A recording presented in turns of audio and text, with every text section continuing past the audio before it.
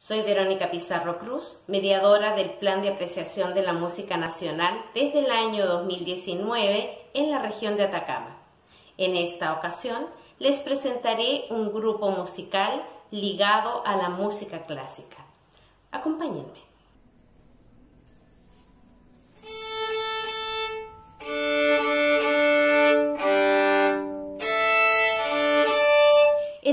Cronos nace a mediados del año 2019 en la ciudad de Copiapó. Su objetivo es incentivar presentaciones en el formato de música de cámara en la región de Atacama. Su principal repertorio es la música docta. A la fecha, el ensamble ha tenido la oportunidad de presentarse en diversos escenarios de Atacama, entregando a los espectadores eventos de gran calidad. El ensamble Cronos está integrado por Bastián González, violinista y director artístico, Paola Fuentes, violinista, Eliana Belis, violinista, José Castillo, violista, Fernanda Godoy, violista, Leonel Vázquez, chelista, Fernanda Farías, contrabajista y Sergio Carvajal, pianista. A continuación nos referiremos a dos de sus integrantes en mayor detalle, porque ellos nos brindarán una hermosa presentación. Sebastián González, violinista y director artístico del ensamble Cronos, oriundo de Temuco, inició sus estudios en diversas escuelas para dedicarse de manera formal a la música, ingresando al Conservatorio de la Universidad Austral de Chile a través de una beca completa. En esa casa de estudios su tutor es el destacado pedagogo chileno Patricio Contreras. El año 2010 se dirige a Estados Unidos, donde es becado por la Universidad del Oeste de la Florida para estudiar con el maestro ruso Leodid Charovsky titulándose el año 2014. Con una vasta experiencia y participación en encuentros orquestales, es semifinalista en el concurso de música de cámara organizada por la Fundación de Orquestas Juveniles de Chile, FOGI. El año 2013 es nombrado joven artista del estado de Florida representando a dicho estado en el concurso de jóvenes solistas organizado por la Asociación Nacional de Profesores de Música de Estados Unidos. Su carrera orquestal es amplia y diversa en varias orquestas de Chile y Estados Unidos. Además, ha participado en numerosos proyectos musicales y sociales, como Orquesta Penitenciaria de Vallenar, Orquesta Infantil de Torreblanca, director de la Orquesta Infanto Juvenil Crisol de la Comuna de Tierra Amarilla. Actualmente es concertino de la Orquesta Sinfónica Municipal de Copiapó e instructor de violín en la Fundación de Orquestas Juveniles de la región de Atacama. Carvajal, pianista del ensamble Cronos. Nace en Santiago de Chile y comienza sus estudios formales de piano ingresando a la Universidad de La Serena en la cátedra de la profesora y pianista reconocida Ariadna Colli. El año 2009 realiza una pasantía en Varsovia y el año 2011 inicia sus estudios de magíster en interpretación de música docta latinoamericana del siglo XX en Uncuyo, Argentina. Cuenta con una amplia y diversa experiencia en presentaciones artísticas como pianista a nivel local, a nivel regional, nacional e internacional. Desde el año 2006 hasta la fecha ejerce la docencia de la asignatura de piano y piano complementario en el Liceo Hugo Garrido Gaete de Copiapó.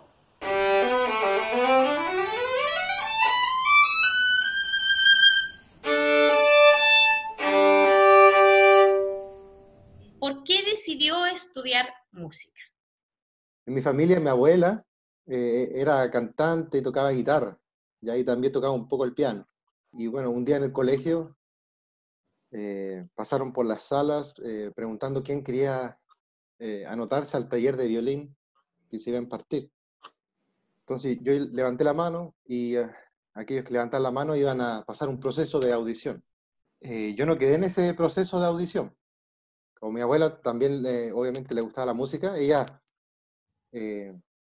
eh, como un gesto de mucho cariño, ¿cierto? Eh, me compró un violín, un violín de estos chinos, y fuimos donde el profesor, y con el violín en mano, él no tuvo más opción que decir que sí, en hacerme clase. Así que, más que nada, esa es la historia de, de cómo empecé con el violín. Y yo creo que fue violín porque justo pasaron preguntando, no había taller de cello, ni de... no había otra opción. No había taller, ni siquiera había de guitarra, no, llegó el taller de violín nomás. Ahí después ya tocaba en orquestas infantiles, juveniles, entonces me desenvolvía bien con el instrumento. Yo creo que eso me, hizo quedarme con él.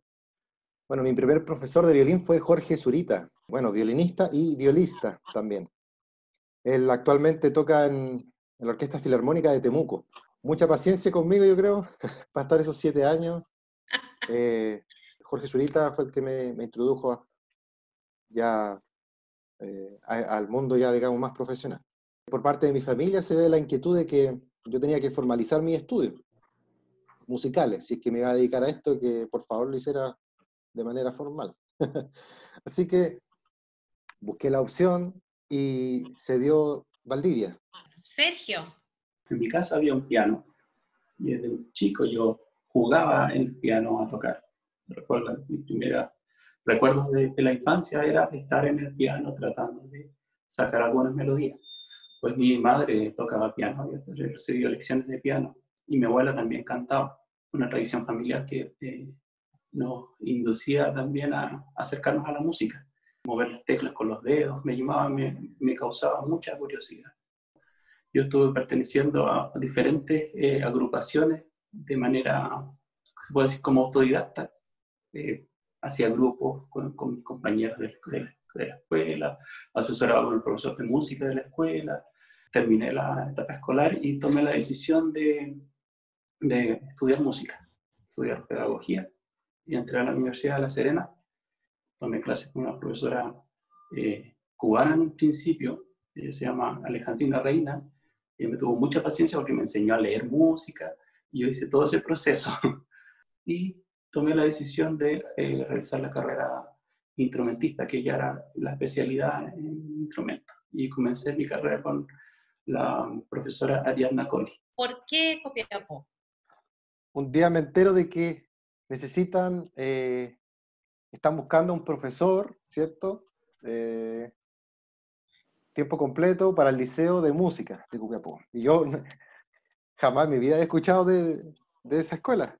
Ni siquiera tenía una imagen de cómo era Copiapó, nada conozco la escuela de música primero, eh, la directora, la verdad que yo quedé así, oh, esta va a ser mi sala, cuando me dijeron, yo quedé muy impresionado. Se me asignó también un cupo ahí dentro de la orquesta, de la cual soy parte hasta el día de hoy. Así que aquí estoy en Copiapó. Gracias.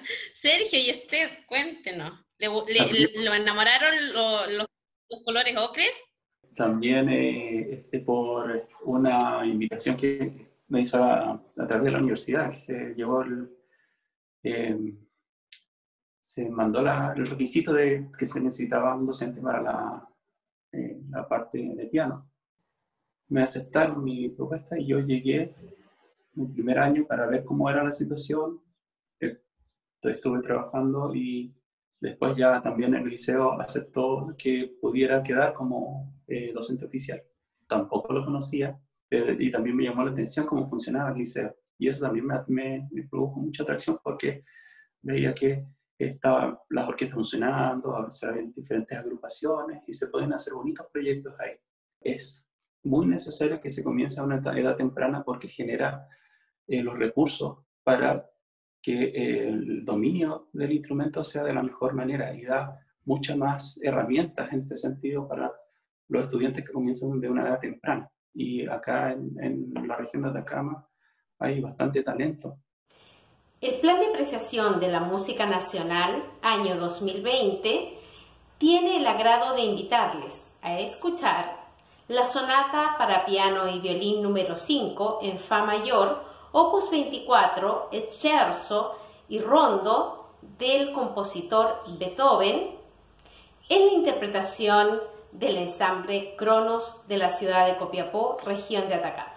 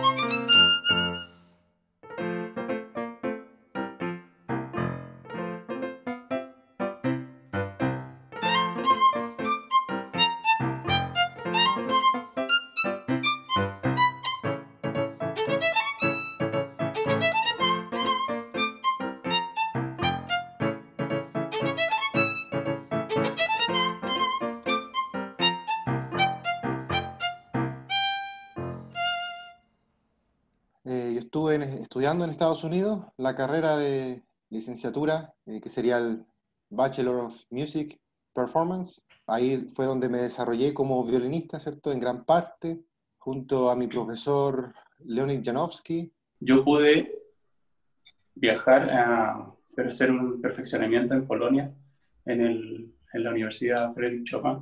También después eh, tomé un curso, un magíster en Argentina sobre música latinoamericana, doctor. ¿Cree usted que falta investigación en ese sentido? Sí, la investigación está, pero faltan las conexiones, las redes. Lo, hacer, hacer los contactos y, conectarse con todas las entidades que enseñan música a nivel nacional para empezar a nutrirse de, esos, de esas investigaciones que están.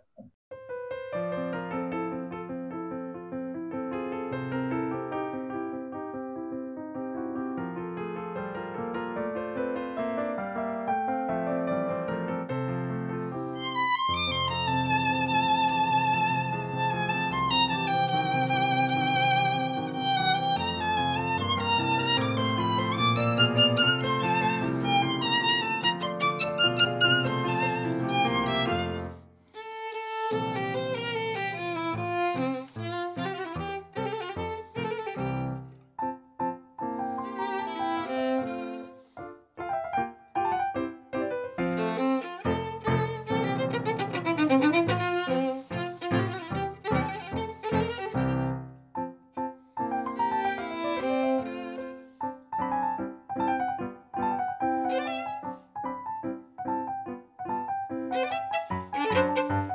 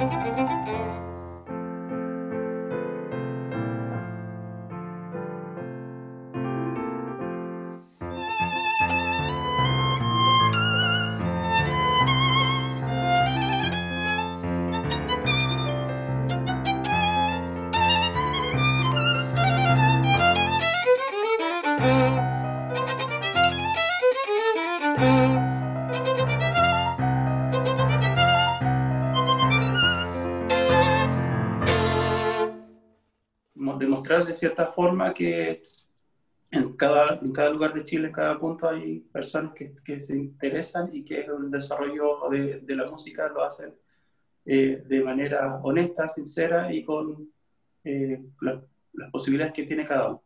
Yo creo que este programa es a prueba de balas y, y yo creo que puede funcionar en cualquier instancia de aquí a futuro y yo en realidad quedo encantado de poder participar aquí. Muchas gracias.